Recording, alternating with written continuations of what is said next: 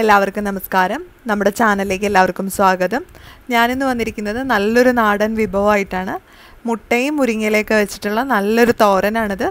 വളരെ പോഷക സമ്പുഷ്ടമായൊരു സാധനമാണ് ഈ മുരിങ്ങയില എന്ന് പറയുന്നത്. അപ്പം മുരിങ്ങയിലയും മുട്ടയും കൂടി ചേരുമ്പോൾ അതിന്റെ ഗുണം ഡബിൾ ആവും. അപ്പോൾ നമുക്ക് ഇന്ന് മുട്ടയും മുരിങ്ങയിലേക്ക് കൊണ്ടുള്ള തോരൻ എങ്ങനെയാണ് തയ്യാറാക്കുന്നതെന്ന് നോക്കാം. അപ്പം നമ്മുടെ തോരൻ തയ്യാറാക്കാനായിട്ട് ഞാനിവിടെ ഒരു പാത്രം എടുത്തിട്ടുണ്ട്. ഈ പാത്രം നന്നായി ചൂടായി വരുമ്പോൾ നമുക്കിതിലേക്ക് എണ്ണ ഒഴിച്ചു കൊടുക്കാം. അപ്പം ഞാനിവിടെ ഒരു ഒന്നര ടേബിൾ സ്പൂണോളം വെളിച്ചെണ്ണയാണ് ഒഴിച്ചു കൊടുത്തിരിക്കുന്നത്. നാടൻ വിഭവങ്ങളൊക്കെ എപ്പോഴും വെളിച്ചെണ്ണയിൽ ചെയ്തെടുക്കുന്നതാണ് നല്ലത്. പിന്നെ ഈ വെളിച്ചെണ്ണ നന്നായി ഒന്ന് ചൂടായി വരുന്നവരെ നമുക്ക് വെയിറ്റ് ചെയ്യാം. അപ്പോൾ ഇതാ നമ്മുടെ വെളിച്ചെണ്ണയൊക്കെ നന്നായി ചൂടായി വന്നിട്ടുണ്ട്. നമുക്കിനി ഇതിലേക്ക് കടുക് ചേർത്ത് കൊടുക്കാം. അപ്പം ഞാനിവിടെ ഒരു കാൽ ടീസ്പൂൺ കടുകാണ് ചേർത്ത് കൊടുത്തിരിക്കുന്നത്. ഇനി നമുക്കിതിലേക്ക് വറ്റൽമുളക് ചേർത്ത് കൊടുക്കണം.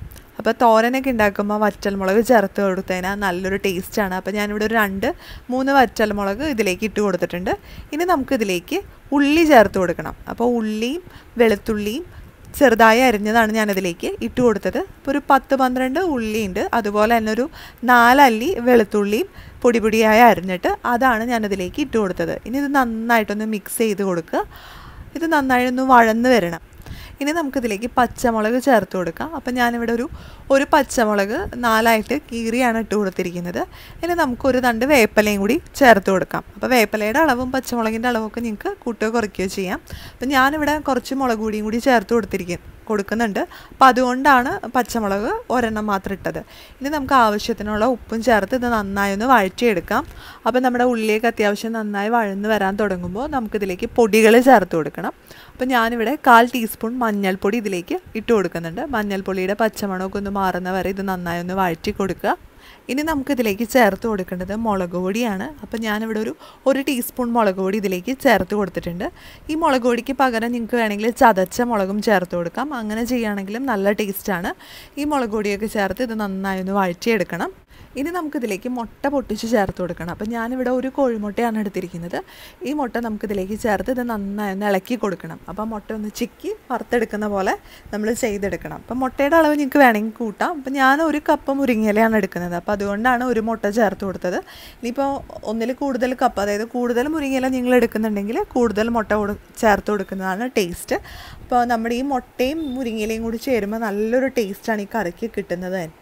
ഇനി നമുക്കിതിലേക്ക് മുരിങ്ങയില ചേർത്ത് കൊടുക്കണം. അപ്പം ഞാനിവിടെ മുരിങ്ങയില നന്നായിട്ട് കഴുകി വൃത്തിയാക്കി എടുത്ത് വെച്ചിട്ടുണ്ട്. ചെറിയ ചെറിയ ഇലകളായിട്ട് അടർത്തി എടുത്തിരിക്കുന്നതാണ് ഇത് ഞാനിതിലേക്ക് ഇട്ട് കൊടുത്തിട്ടുണ്ട്. ഇനി ഇത് നന്നായിട്ടൊന്ന് ഇളക്കി മിക്സ് ചെയ്തെടുക്കുക. അപ്പം മുരിങ്ങയില പെട്ടെന്ന് തന്നെ വെന്ത് കിട്ടും. പെട്ടെന്ന് തന്നെ വാടി കിട്ടും. ഒരു രണ്ട് മൂന്ന് മിനിറ്റ് മാത്രം മതി ഈ കറി തയ്യാറാക്കാനായിട്ട്. അപ്പോൾ നമ്മുടെ മുരിങ്ങയിലേക്ക് ഏതാണ്ട് നന്നായി ഇളക്കി ഇതിന്റെ ആ ഒരു കളറൊക്കെ മാറി തുടങ്ങിയിട്ടുണ്ട്. ഇത് അത്യാവശ്യം എന്ത് റെഡിയായി വരുന്നുണ്ട്. ഇനി ഈ സമയത്ത് നമുക്കിതിലേക്ക് തേങ്ങ ചേർത്ത് കൊടുക്കണം. അപ്പം ഞാനിതിലേക്ക് ഒരു മൂന്ന് ടേബിൾ സ്പൂൺ തേങ്ങയാണ് ചേർത്ത് കൊടുക്കാനായിട്ട് പോകുന്നത്. അപ്പം ഞാനിവിടെ തേങ്ങയൊക്കെ റെഡിയാക്കി വെച്ചിട്ടുണ്ട്. ആ തേങ്ങ ഞാനിതിലേക്ക് ഇട്ട് കൊടുക്കുന്നുണ്ട്. അപ്പോൾ തേങ്ങയും കൂടി ചേരുമ്പോൾ നമ്മുടെ കറിക്ക് കുറച്ചും കൂടി സ്വാദ് കൂടും. ഇനി ഇത് നന്നായിട്ടൊന്ന് മിക്സ് ചെയ്തെടുക്കുക. നിങ്ങൾക്ക് തേങ്ങ ഇല്ലാതെ എന്താ ഉണ്ടാക്കുക കേട്ടോ തേങ്ങ ഇല്ലാതെ ഉണ്ടാക്കിയാലും കുഴപ്പമൊന്നുമില്ല. നല്ല ടേസ്റ്റാണ് പക്ഷേ നമ്മൾ തോരനൊക്കെ ഉണ്ടാക്കുമ്പോൾ എപ്പോഴും നന്നായിട്ട് തേങ്ങയൊക്കെ ചേർത്ത് ഉണ്ടാക്കുമ്പോഴാണ് കുറച്ചും കൂടി ടേസ്റ്റ് കിട്ടുക. അപ്പോൾ തേങ്ങയൊക്കെ ചേർത്തതിന് ശേഷം ഇത് നന്നായി ഒന്ന് വഴറ്റി കൊടുക്കുക. ഒരു ഒരു മിനിറ്റും കൂടി മതി. നമ്മുടെ മുരിങ്ങയില തോരൻ ഇവിടെ റെഡി ആയിട്ടുണ്ട്. നന്നായിട്ട് ഇത് വെന്ത് നല്ല കറക്റ്റ് പരുവത്തിൽ വന്നിട്ടുണ്ട്. അപ്പോൾ ഈ സമയത്ത് നമുക്കിതിന്റെ ഉപ്പൊന്ന് നോക്കാം. ഉപ്പ് പാകാണെന്ന് നോക്കുക അപ്പോൾ ഉപ്പൊക്കെ കറക്റ്റാണ് നമുക്കിനി ഇതിലേക്ക് പ്രത്യേകിച്ച് ഉപ്പൊന്നും എക്സ്ട്രാ ചേർത്ത് കൊടുക്കേണ്ട ആവശ്യമില്ല. അപ്പോൾ നല്ല ചൂട് ചോറിന്റെയൊക്കെ കൂടെ കഴിക്കാൻ പറ്റിയ നല്ലൊരു നാടൻ വിഭവമാണ്. അപ്പോൾ എല്ലാവരും ഇതൊന്ന് ട്രൈ ചെയ്ത് നോക്കുക. റെസിപ്പി ഇഷ്ടപ്പെട്ടാൽ ലൈക്ക് ചെയ്യാനും ഷെയർ ചെയ്യാനും മറക്കരുത്. അതുപോലെ നിങ്ങൾ ഈ ചാനൽ ആദ്യമായിട്ടാണ് കാണുന്നതെങ്കിൽ നമ്മുടെ വീഡിയോന്റെ താഴെയുള്ള red colour subscribe button press ചെയ്ത് ചാനൽ സബ്സ്ക്രൈബ് ചെയ്യാനും മറക്കരുത്. ഇനി അടുത്ത ദിവസം പുതിയൊരു റെസിപ്പിയായിട്ട് നമുക്ക് വീണ്ടും കാണാം.